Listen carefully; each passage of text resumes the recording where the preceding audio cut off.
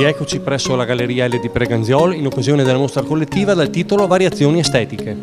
Espongono gli artisti Lorenzo Cassanelli, Carlo Guidetti, Silvia Moscati, Stefano Ughi. Per Carlo Guidetti l'arte è il mezzo fondamentale che l'uomo ha per creare empatia e per concretizzare questo suo proposito ideale l'artista si avvale della fotografia, che egli declina verso una sua personale concezione astratta mutuata dalla realtà oggettiva. In tal modo l'artista crea un soggetto ideale capace di simulare interesse e recondite emozioni nello spettatore. Abbiamo con noi Carlo Guidetti, fotografo che alla base delle sue opere si può intravedere un riferimento filosofico al movimento dell'estetica paradisiaca e chiediamo all'artista di esporci quali sono le caratteristiche di questo movimento. Ma la caratteristica fondamentale è quella di proporre delle opere che non si pongono in contrapposizione con chi le guarda, ma che si mettono in assonanza con chi le guarda, in modo tale da avere una visione eh, giustamente paradisiaca del, dell'immagine, per cui eh, colori chiari, eh, situazioni non drammatiche, ma di eh, incoraggiamento verso quello che potrebbe essere anche il futuro.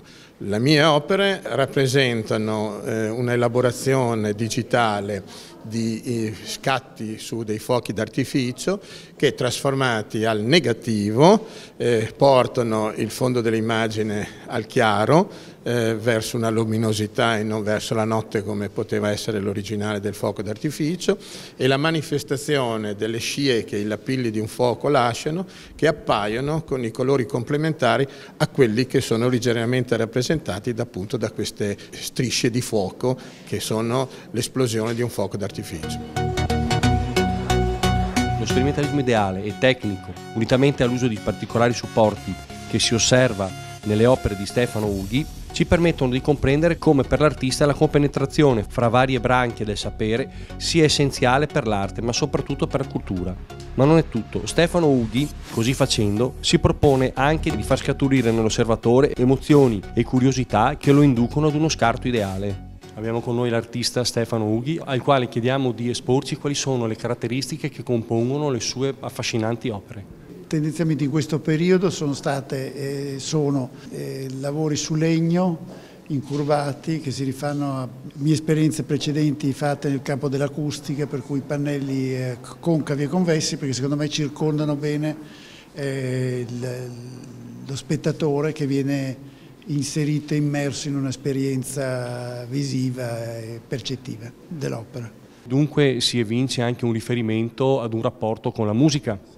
Eh, sicuramente con la musica e con l'acustica che sono stati due settori che ho battuto negli anni precedenti che comunque mi hanno sempre affascinato perché avvolgono la persona e eh, prima si diceva che l'opera deve parlare allo spettatore, eh, adesso sto facendo delle opere dove veramente il, il quadro eh, vibra e produce dei suoni che fa delle domande allo spettatore.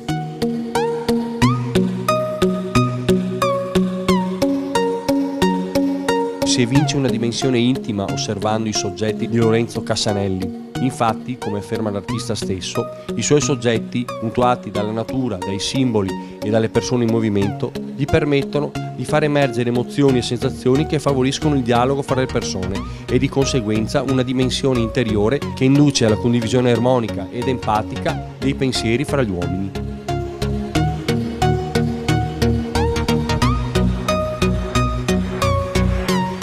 Per Silvia Moscatti l'arte è un bisogno interiore che ella soddisfa solo quando crea. Le sue tematiche di impronta sociale, vicine ai temi dell'ecologia e del consumismo, ci inducono a riflettere sulla condizione umana odierna e quindi a tentare di trovare una via d'uscita per questo mondo così disastrato.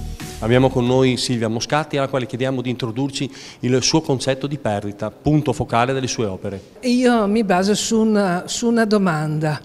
Eh, noi cosa siamo? Siamo ciò che spendiamo e la nostra capacità di eh, acquistare, di spendere che ci determina una nostra posizione nel sociale e purtroppo tante volte è così. E allora la perdita, che è sempre nel nostro linguaggio ha una valenza negativa, se andiamo a scrutare nel vocabolario, eh, accanto a perdita d'acqua piuttosto che perdita di affetti, eccetera, troviamo un unico concetto che è positivo, ovvero a perdita d'occhio. Questo caso il, la lingua italiana ci dà un concetto positivo, cioè noi, indipendentemente da quanto i nostri occhi possano vedere, a perdita eh, d'occhio vuol dire lontano. Io posso arrivare lontano.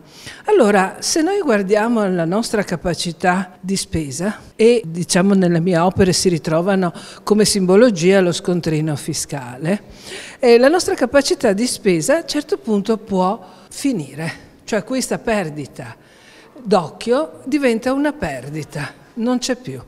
E allora in quel caso che cos'è che noi perdiamo? La prima cosa che perdiamo è la mente, cioè i sentimenti, diciamo, il nostro modo di esistere si confonde. Poi perdiamo le forze, la capacità di movimento, siamo immobili e questo lo vediamo in una mia opera, ma le mie opere diciamo che spaziano un po' su questo concetto anche ambientalista che io rappresento con l'albero. L'albero eh, ci dà tanto, ci dà territorio, sostanza nei nostri territori, ma ci dà una cosa importantissima per noi, la carta, la cellulosa che ci produce carta, ma noi, che siamo noi uomini, riusciamo a danneggiare questa cosa, riusciamo a coprirla di un elemento chimico per risparmiare inchiostro e abbiamo una cosa potenzialmente nociva che non ci darà la possibilità di riciclare questo ed è la nostra carta eh, termica che la usiamo per gli scontrini fiscali ma non solo, la usiamo tantissimo. E allora se pensiamo che da un pioppo che per arrivare alla produzione di carta, cioè essere, ci vogliono 10-15 anni di vita, ma lui se fosse lì potrebbe durare 300-400 anni e produrre tanti altri pioppi. Questo elemento naturale ci dà solo 70 kg di carta, ma per farli abbiamo bisogno di 30.000 litri d'acqua. E sono tantissime, perché se una persona bevesse due litri d'acqua al giorno ci metterebbe 41 anni per bere tutta quell'acqua e dopodiché gli diamo una bella spalmata di bisfenolo e la gettiamo. Ecco, questo è il mio concetto espresso attraverso le mie opere.